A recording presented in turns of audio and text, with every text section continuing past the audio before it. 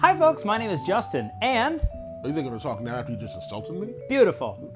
And this is Vash. Let's get this started.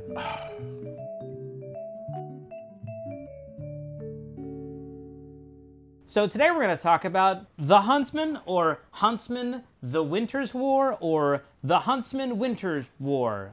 I don't know what the title actually is. I, I didn't like, if you look at the screen, it, it looks like there's a bunch of word options there That's for very it. interesting And I don't know that. which one it is. I remember the word huntsman somewhere, but then I was like, wait, is that it? So then I figured, well, when the movie comes on, I'll find out. When the movie came on, but I was late, so I missed it, so I still don't know. The whole movie, I'm That- like, what is this called? one of our first reviews actually on this show Mm-hmm. when like the first 10 is Snow White and the Huntsman. And I hated it. way back in the day. Hated and I had second fun at that movie. I didn't I don't think I've ever watched it ever since, let's be honest.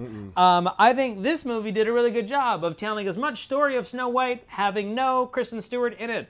You liked it, didn't you? So I guess that's the obvious question. Did you enjoy the movie? Not one second. Okay, maybe three or four seconds, but Okay. that was it. Like, and not not in a row. Who was um, the girl? Which girl? There are three girls in this that are big names. Charlize Theron, I know her. who plays who you was know, in it for like the queen. and a half seconds. That maybe Emily Blunt, Emily who Blunt plays from the Ice Devil Queen. Prada. Jessica Chastain, That's who I didn't who plays know. the other huntsman. I and thought it like was the love Quinn interest. Fabray. Okay. And until I realized I hadn't seen Charlize Theron, so I was like, oh, maybe it's Emily Blunt. And then I was like, well, that means the Ice Queen is Charlize, Charlize, Charlize, I think it's Charlize. Charlize Theron. But I'm like, why would she play herself and her sister? They could like. Then I was like, well, I guess it makes CG sense. is amazing. she looks totally different. How long is this movie? Two hours. At one like hour hour and 45. fifty-two minutes into the movie, Charlize Theron shows up.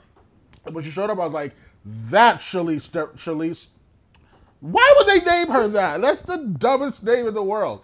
Charlize Theron was probably like, you want me to play her sister? Oh my god, I feel so young. Because she could definitely be like her grandmother. Charlize Theron is like 90. I don't think she's that I old. watched Charlize Theron back in And I the don't think Emily Blunt's she- quite that is young. 2006. Really? But she's brand new to the scene. Wasn't uh, Devil Well- Wears Prada her first movie? Also, that movie was like almost 10 years ago. Ex- uh, oh. Yeah, maybe she's not such a spring chicken. She's still young.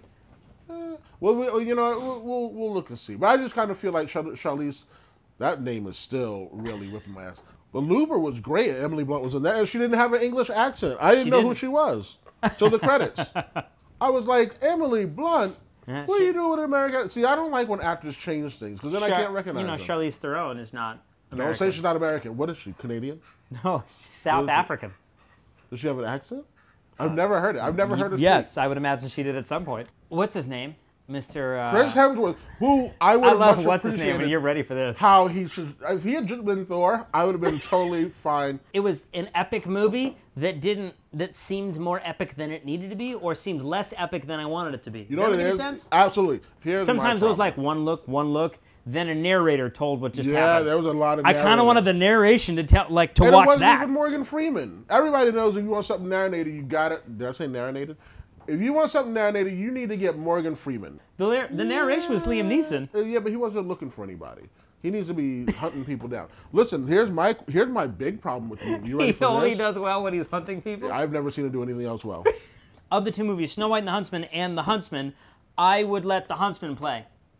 I wouldn't let either one of them play. Why do you have to have a choice? Are you in jail or something? So, should we review the movie? Thought we already did that. Okay. Uh, I think this visual is really cool, and it was a cool story. And between the two, I clearly would prefer The Huntsman, but I'm just going to give this a three. What movie did you watch? We were in the same theater because the movie that I don't know. saw, you were so late you couldn't sit with us.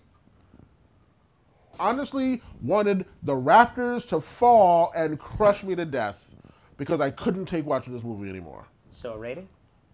Two. Okay. I give it a two because they worked really hard on it and it wasn't badly done. It was just bad. Thank you, everybody, for watching the show. Feel free to subscribe to the page. What does it look like this time? Don't. Whatever you'd like. Okay, I thought What you were gonna move on- your hand over here. No, I try to- tilted with my head this time. What was Yeah. on DVD and uh, sorry DVD and what was on last? We will see you guys next week. Have fun. Wait, I'm going back next week.